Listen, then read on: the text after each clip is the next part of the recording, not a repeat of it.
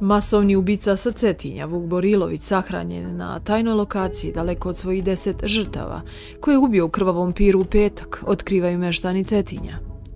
Cetinjani kažu da, bez obzira na strašan zločin, izjavili su saučešće porodici Borilovića, koja će dok je živa morati da nosi krst sramote i tuge.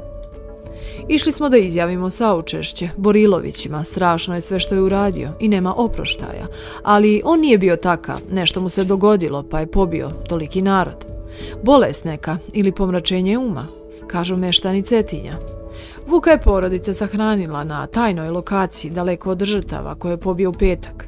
Nije hrišćanski i moralno da počivaju u istoj zemlji.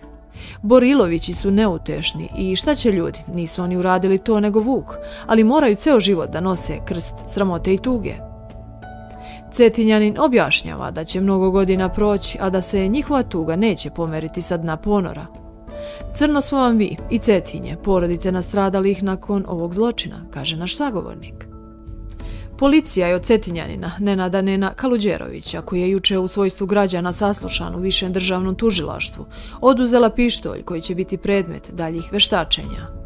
Kaludjerović je saslušan povodom tragedije na Cetinju, u kojoj je Vuk Borilović usmrtio deset osoba pre nego što je ubijen, a Kaludjerović je dovođen u vezu sa njegovom likvidacijom. Načelnik stanice kriminalističke policije za suzbijanje krvnih delikata u Centru bezbednosti Podgorica, Srđan Korać, izjavio je za TV vijesti da se saslušavaju svedoci, kao i da će biti obavljen veći broj veštačenja u kliničkom centru. Uviđajni postupak je u toku po nalogu tužioca, bit će sproveden veliki broj veštačenja, naveo je Korać.